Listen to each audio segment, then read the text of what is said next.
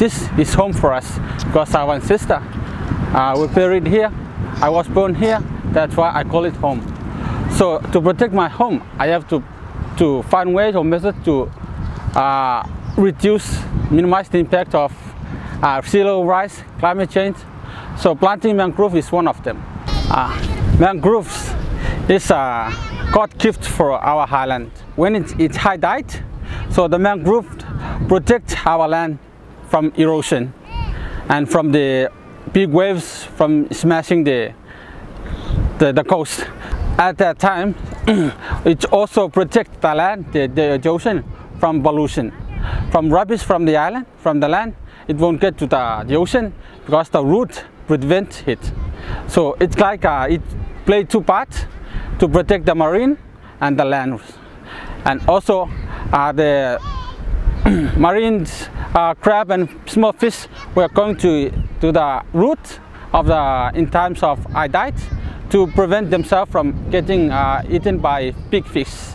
And uh, so if we, if we continue on planting mangrove, we save our land and we get more fish. So planting mangrove is like a, there's a procedure. Like you have to select, uh, collect a shoot for the planting, and then when you plant it, you have to to dig the hole and then put three uh, shoots in one hole. You have to maintain, you have to monitor it. Just because of the the algae from the ocean and then everything that there's uh, things that will affect the life of the mangrove. So you have to monitor it, clean it. I'm just starting to collect my the, the shoots, mangrove shoot for planting. So first I will have to consider the which ones are ready for the, the planting. Otherwise my planting won't be used. So as you can see in my hand, this, are the, this is the one that's ready to, to, to plant. And uh, this one are not the, they are not ready. You can, you have to see the, this thing. It will white Sometimes you will see that it can be green like this one. But that's not ready.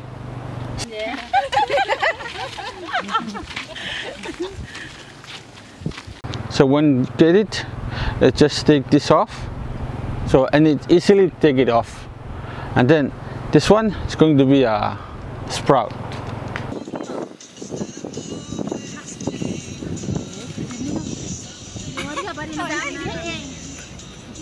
It's our responsibility to look after this land for the next generation. So the question I always raised when I was in the outer highland in order to uh, get them into our program is who, who is the owner of this land? So they give me lots of answers, but they are wrong.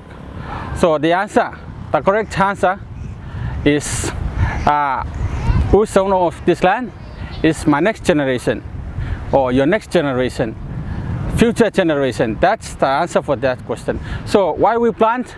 Just because of that. We want to, to grow, maintain everything for the next generation, the owner of this land.